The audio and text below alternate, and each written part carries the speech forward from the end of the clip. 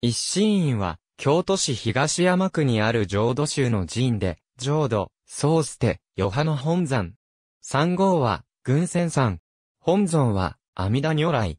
千代院敷地に多くを囲まれるが、道院とは、独立した別の寺である。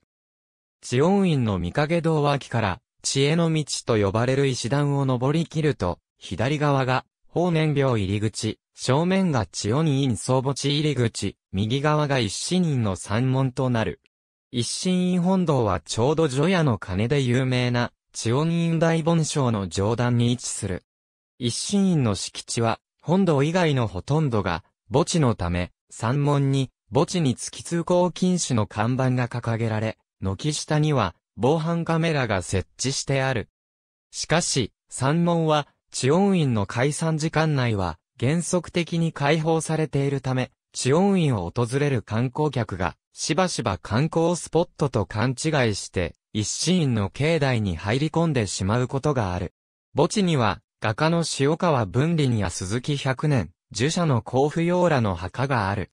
この寺は、天文17年、武蔵国江戸の出身で、江戸増上寺で学んだ、縁誉れ少年が、少年院から寺地を下賜されて創建したもので、少年は一派を形成し一心院流と称された。元禄年間には百家事を超える末寺を有したが、派内での争いにより、千代院の管理となった。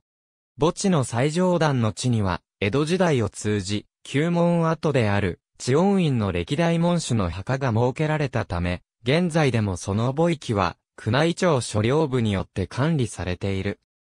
また、その墓域のすぐ近くには、江戸幕府十二代将軍、徳川家吉の正室、佐佐宮高子女王の遺発塔がある。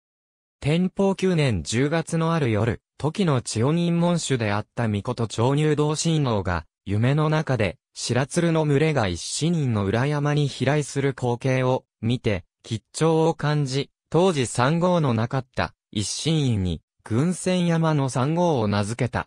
この時親王は、自ら筆を取り、軍船山の字を記号して、学字を作らせた。1950年に、浄土宗から一心院を本山とする浄土、そう捨て、余波が分派した。ありがとうございます。